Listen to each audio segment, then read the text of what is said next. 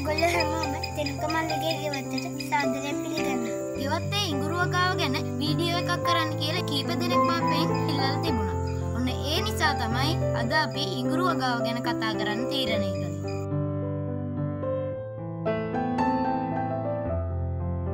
උද්භිත විද්‍යාත්මකව සිංජිබ ඔෆිසිනාලේ නමින් හැඳින්වන ඉංගුරු සිංජිබරාසය කුලේට අයත් වෙනවා. ඉංගුරුශාකය නැගෙනහිර ආසියානු කලාපේ සම්භවය වී ඇත. අතීතයේ සිටම ප්‍රධාන කුළු බඩු වර්ගයක් ලෙස ඉංගුරු භාවිතා කරයි. ඖෂධීය ගුණයෙන් අනුවන ඉංගුරු ආයුර්වේදය හා දේශීය වෙදකමේ නැතුවම බැරි ඖෂධයකි. චීනය ඉන්දියාව ඕස්ට්‍රේලියාව හවායි හොංකොන් ජැමේකාව ජපානය නයිජීරියාව පකිස්ථානය දකුණු ඇමරිකාව තායිවානය ප්‍රධානම නිෂ්පකයන් වෙනවා. ශ්‍රී ලංකාවේ වගාවට සුදුසු ප්‍රදේශ අතර කුරුණෑගල මානුවර ගම්පා කොළඹ සාකෑගල්ල දිස්ත්‍රීක් ප්‍රමුඛ තැනක් ගන්නවා. විශේෂයෙන්ම බස්නාහිර හා වයඹ පළාත්වල පොල් වගාවේ අතුරු භෝගයක් ලෙස වගේම ගෙවතු වගාවක් ලෙසද ඉඟුරු වගා කරනවා. දේශගුණික අවශ්‍යතාවයන් මුහුදු මට්ටමේ සිට අඩි එද්දාස් පන්සිය දක්වා ප්‍රදේශ ඉතා සුදුසු අතර වාර්ෂික වර්ෂාපතනය මිලිමීටර් එද්දාස් පන්සියට වැඩි ප්‍රදේශයක් විය යුතුයි. ඒ වගේම හොඳින් ජලය බැස යන වැලි මිශ්‍ර ලෝම පස සහ පාන්සු පීච්චගේ පහයි දශම පහේ සිට හයයි දශම පහතරවීම වැදගත් වෙනවා. මධ්‍යස්ථ සෙවන ප්‍රිය කරන ඉංගුරු ශාකය මාර්තු මැල්ද සිට අප්‍රේල් මුල් සති අතර කාලයේදී වගා ඇරඹිය හැකි. ඉංගුරු වගාවේ රෝපණ ද්‍රව්‍ය. ඇගිලි පහක් හයක් පමණ සහිත වූ මෙන් මේ වගේ ඉංගුරුවලයක් තමයි අපි සිටුවීමට යොදාගන්න. මේ ඉගුරුවලය වැලි තවානයේ සිටවා මේ වගේ මොරෙයියන් ඇදුණු පසු සිටවන්නත් පුළුවන් එහෙම නැත්නම් අපිට කෙලින්ම ශ්‍රේෂ්ත්‍රයේ හිටවන්නත් පුළුවන්. අංකුර හයත් අටත් පමණ ඇති ග්‍රෑම් හතලියත් පනත් පමණ බර රයිසෝම කැබලි සිටුවීම සඳහා යොදාගන්නවා.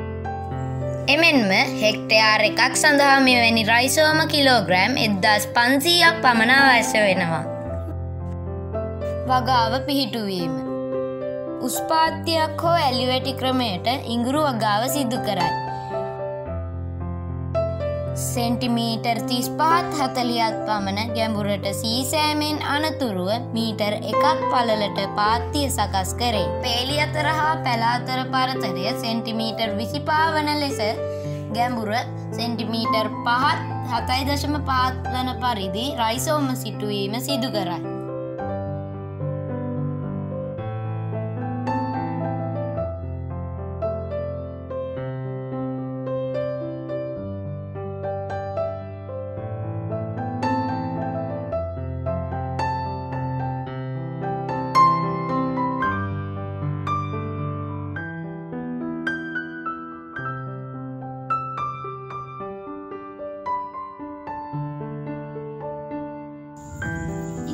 කරයි. ඉංගුරුවගාවට සුදුසු වෙන විදිහට අපි දැන් භූමිය සකස් කරලා ඉවරයි.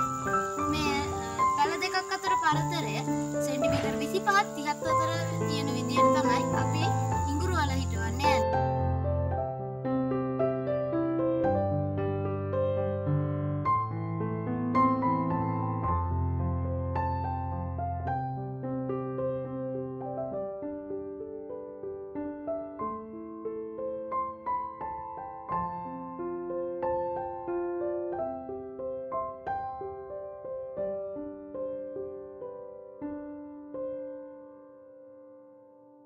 වසුන් යෙදීම.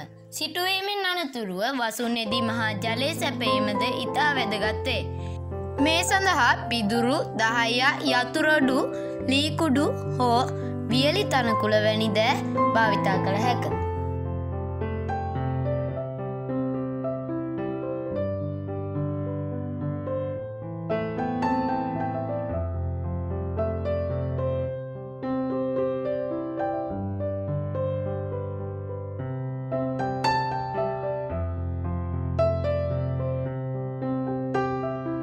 පොහොරේදීම බිම් සකසන අවස්ථාවේ හෙක්ටයාර එකක් සඳහා කාබනික පෝර ටොන් විස්සක් පමණ හා ඩොළමයිට් ටොන් දෙකක් එක් කිරීමෙන් වැඩියස් වැන්නක් ලබාගත හැකි අතර කාබනික නොවන වගාවකදී රසායනික පෝරද භාවිතා කෙරේ. ඊට අමතරව ග්ලිරිසිඩියා කොලය කිරීමද වැඩි අස්වැන්නකට හේතුවේ. වගාව නඩත්තු කිරීම. ජල සම්පාදනය, වල්මර්ධනය, රෝග පලිබෝධ පාලනය වැනි නඩත්තු කටයුතු සිදු කිරීම මගින් වඩා හොඳ අස්වැන්නක් ලබාගත හැකි. අස්වනු නෙලීම සිටුවා මාස අටත් දහයත් අතර කාලයකින් අස්වනු නෙලිය හැකේ.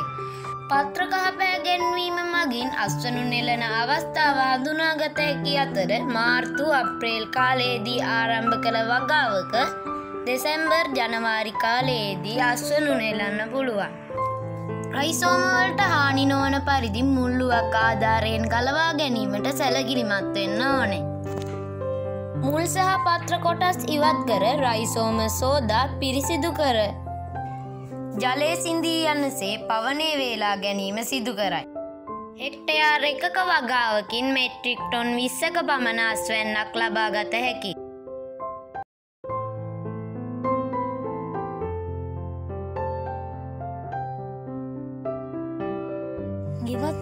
වගා කිරීමේදී පාත්තිවල වගේම විවිධ බඳුන් වලද වගා කරන්න හැකියාවක් තියෙනවා.